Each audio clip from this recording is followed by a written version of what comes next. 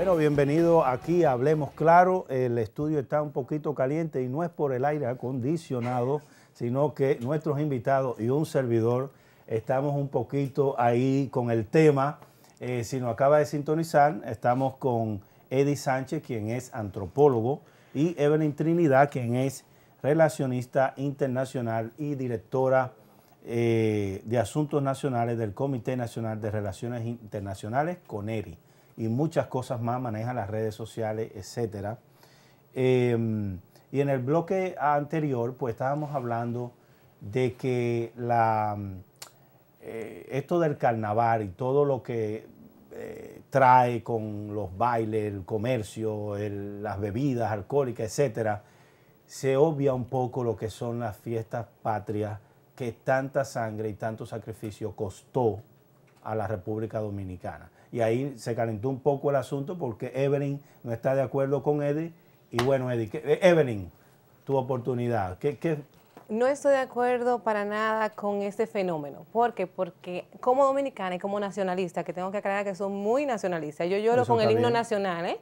Para que perfecto, así es. Porque me duele mi país. Entonces también me duele cuando vemos los niños en la escuela, que hoy en día, aparte de que están muy tecnológicos, que era lo que decía Eddie, la cuestión global es la que ha llevado a este, a este tipo de informaciones extranjeras, que la ha manejado en todas las redes y que no la da por cultura. Pero nosotros como nacionales debemos de definir nuestra identidad, Eddie. Eh, es posible que China, Venezuela, muchos eh, países tengan eh, sus migrantes en este país, pero lamentablemente esto es República Dominicana y nosotros no podemos defender la parte de, de estas culturas extranjeras en nuestro país. O sea, defiendo mi nación, mi país, ¿por qué? Porque es quien me duele. Si en febrero yo por parte soy católica, no practico el carnaval por cuestiones religiosas, pero también me preocupa. Que siempre cae con el con, con eh, miércoles yo, yo, y en, y en Exacto. yo me, atrevería a, someter una resolución, porque el pueblo puede someter una resolución de que cambien ese carnaval a otro mes, para ah, darle la identidad nacional a la independencia nacional, que es como debería ser. Eddie, tú tenías una palabra breve porque nos vamos a una encuesta. Cuéntanos. Mire, eh, las fechas patrias y el carnaval coinciden por un decreto presidencial. Y eso es lo que usted no... Excelente, se puede cambiar. Quizá... Mucho mejor. Mira, gracias por eso. Vamos a escribirle a Daniel. ¿Quién fue que hizo, ¿quién fue que hizo ese pero, decreto? Pero, escúcheme, estamos hablando de Pedro Santana. No importa, Pedro ¿Él Santana fue que hizo ese decreto? Sí, y eso está consignado en un libro que se llama eh, Cuaresma, Carnaval y Fecha Patria, que yo les recomiendo a ustedes. Ah, pero eso se puede arreglar. Pero totalmente, fue un mortal cualquiera que hizo eso, no importa la relevancia que tuvo en aquella época, ya está muerto, Mira, podemos con el arzobispo nuevo vamos a hacer una campaña para cambiar excelente, eso. Pero perfecto. Bueno, pero me sumo a esto, me sumo. Pero déjenme decirle, entonces, mire, es lo que le hablaba ahorita de la causalidad y la casualidad. ¿Por qué la gente pinta la casa aquí en Navidad? ¿Usted cree que porque la gente quiere ver la casa bonita y porque es un tiempo que nació el Señor? La gente, no, la cultura. No, no es la cultura. ¿Usted sabe por qué? Pidoca. ¿De quién era Pidoca? De Trujillo. ¿Y usted sabe qué dijo Trujillo? Hay que pintar las casas en Navidad. ¿Para qué? Para que le compraran la pintura a él. Entonces, mi amor, el pueblo se ha quedado con eso y pinta en diciembre. Pero está muy lindo, me gusta la casa pintada en diciembre. Ah, Entonces, quiero decirte que hay costumbres que también son impuestas. Por eso es que no podemos ver fenómenos como, como que ahí está el carnaval junto con... No, eso tiene una causa histórica. Y ni es malo el carnaval, ni es mala la fecha patria, porque ambos responden a un segmento de la sociedad y todos somos dominicanos. La cultura y la diversidad hay que respetar. Eddie, pero le estamos restando relevancia a lo que verdaderamente importa. No, no, no, no, no, pero aguanta, yo no estoy en desacuerdo contigo, ¿entiendes? Ni con el padre. Oye, escúchame. no, porque yo estoy hablando de diversidad y de respeto. Yo no puedo, yo soy católico, yo no puedo obligar a nadie a que sea católico y si lo obligo, estoy faltando a mi propia religión. No, no, vamos a ir, ¿Ah? Eddie. Entiendo, Eddie, perfecto. Ah. Eddie, no vamos a ver, vamos a ver una encuesta, entonces, a ver qué dice el dominicano de a pie. Entonces a veces es la cuaresma que coincide con el carnaval, porque la cuaresma no, cae siempre en la misma fecha. vamos a cambiar eso. Yo, no, no, es móvil. No, no, no, no, no, Eddie. Es móvil. No, va, no vamos a la encuesta, no, no vamos a la es encuesta. Móvil, la Lo vamos a cambiar. No vamos a la encuesta.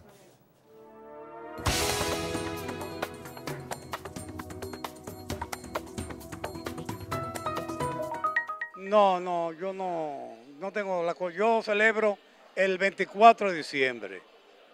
Eso que yo celebro con la familia. No, yo no celebro Halloween, esas cosas, no. Nosotros aquí, alguna gente lo celebrarán, pero uno, nosotros no estamos acostumbrados a celebrarlo. Bueno, yo soy criado en los Estados Unidos y vivo 36 años en los Estados Unidos, por supuesto.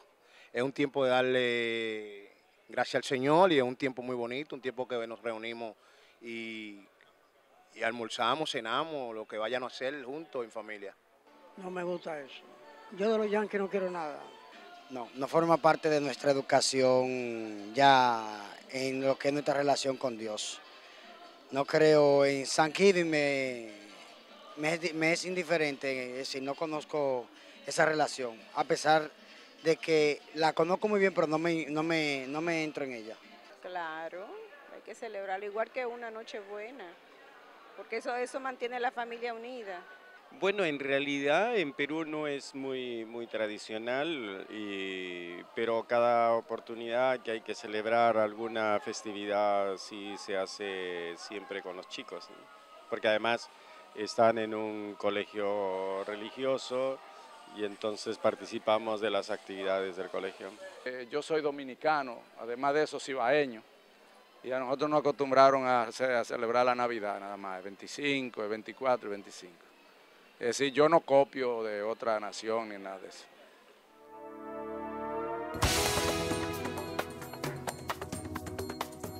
Y volvemos con este tema de la transculturación em, y cuán daño hace a nuestra familia, a la sociedad, al país, República Dominicana. Evelyn, ¿qué te pareció la encuesta? Háblame de la encuesta me pareció muy diversa. La encuesta estuvo muy diversa porque había personas que la apoyaban y otros que, como yo, son muy originales y son muy nacionalistas. Eh, entiendo que eh, me da pena que vi una señora que dijo que hay que celebrar la Navidad y hay otro que dice por cuestiones religiosas. O sea, ellos no están claros de lo que están celebrando. En eso estamos claros. Ellos están eh, absorbiendo una cultura extranjera sin saber lo que están haciendo. Es como dicen por ahí, porque el montón lo hizo. Entonces, eh, me parece... Eddie, ¿qué, te parece la encuesta? La encuesta revela eh, la, realidad que, pasa con eso en, tres aspectos. El primero es que hay dominicanos ahí que no tienen nada que ver con eso. No han nacido allá, no conocen eso, no les interesa. Celebran lo que es de aquí, la Nochebuena, y estoy muy de acuerdo con eso. Hay otro que nació allá, responde, es descendiente dominicano, obviamente, responde a esa fiesta y le gusta, estoy de acuerdo con él, nació allá, aunque es descendiente dominicano. Y eso era lo que yo me refería. Y, hay otros que dicen ahí que como que le es indiferente, que no le importa. Y con eso no estoy de acuerdo, porque yo, yo digo que nadie es más dominicano que yo. ¿Por qué? Porque yo he viajado mucho. ¿Está bien? Y yo soy de la gente, quizás de los pocos, muchos dominicanos, que tiene visa larga para estar en los países poderoso y yo he votado por vivir y estar en mi país y echar el pleito desde aquí. Creo y confío en el talento del dominicano por una mejor patria. Y por eso defiendo que la identidad se fortalezca para que aunque hayan personas a las cuales no podemos obligar, porque lo obligado nunca es bueno, a que sean eh, tradicionalistas o nacionalistas, que estas personas no hagan cambiar el perfil del dominicano con su accionar. Sin embargo, eh, muy, eso, oh, eso me encantó, esa última línea, eh, Eddie. Sin embargo, aquí se celebra Acción de Gracia o Thanksgiving, Black Friday, 4 of July, huevo de Pascua, ¿ok? Halloween, baby showers. Usted se le, en su, en su, eh, para cuando usted nació, su pregúntale a su mamá si a, ella le hicieron no, baby que no tengo que preguntarle, que eso no existía. Eso no existía, ¿verdad? bueno, eso cuesta a la familia también. No solamente cuesta a la familia económica, sino de identidad. Volvemos al punto como dominicano. ¿Por qué? Porque los niños están viendo que nosotros celebramos Acción de Gracias, Thanksgiving, celebramos Black Friday, yo no tengo nada que ver con eso, pero y comienza esa, ese niño a tener esa cultura y lo va a celebrar cuando sea grande, porque eso fue lo que vio en su casa. Eso es lo que yo estoy diciendo, hasta dónde hace daño. Entremos a los bailes. El perreo de Puerto Rico, que se ha extendido en todo el mundo. Es un baile que por aquí no se puede, por el horario, no lo, no lo podemos describir de lo erótico e indecente que es. La música... Eh, se le ha llamado el sexo con ropa. El sexo con ropa se le llama. Se le ha denominado. Eh, sí. El, el reggaetón.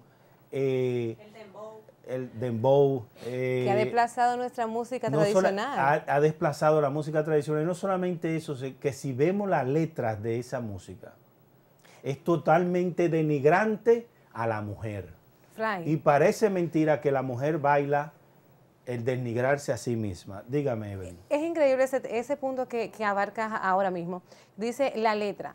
Señores, la letra es increíble. A mí me gustan los artistas que, que, son innovadores, pero por ejemplo, tenemos estos internacionales como Dari Yankee, Don Omar, alguien se ha detenido a escuchar la letra de esta gente popular a nivel mundial, señores, no solo aquí, a nivel mundial.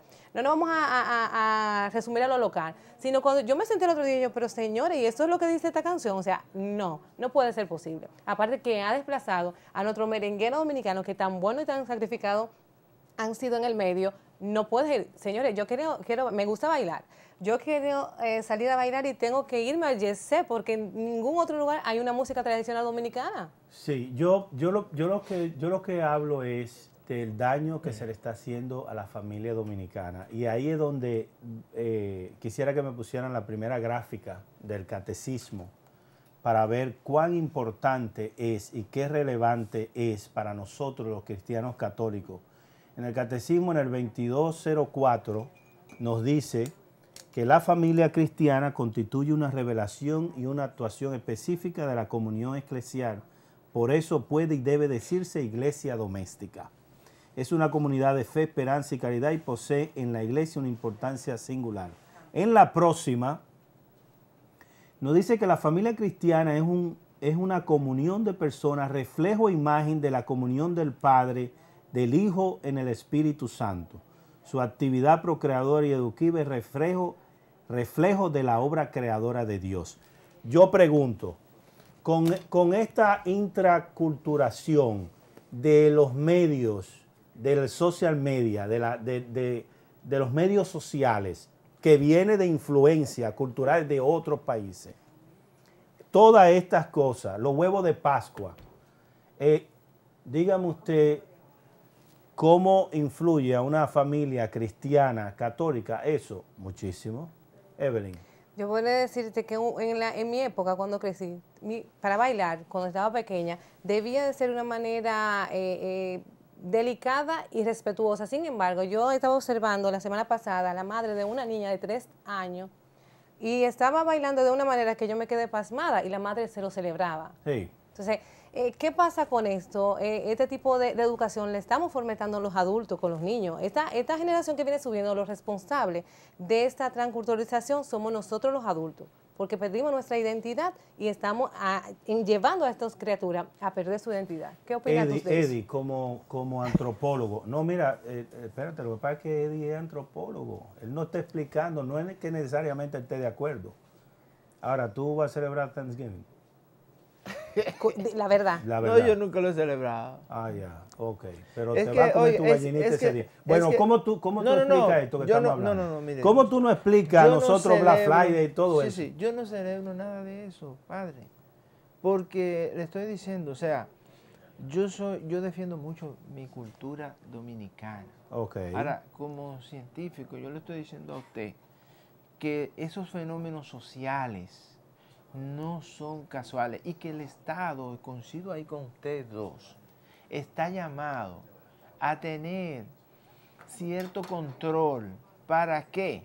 Para que la identidad dominicana, el grueso de la identidad dominicana, no sucumba ante una familia o un grupo de familias que quiera imponer un Thanksgiving o algo como eso. Bueno, con esta nos vamos a ir al a un corte comercial, pero la pregunta es, ¿celebra con entusiasmo las festividades dominicanas? ¿Lo hace conscientemente?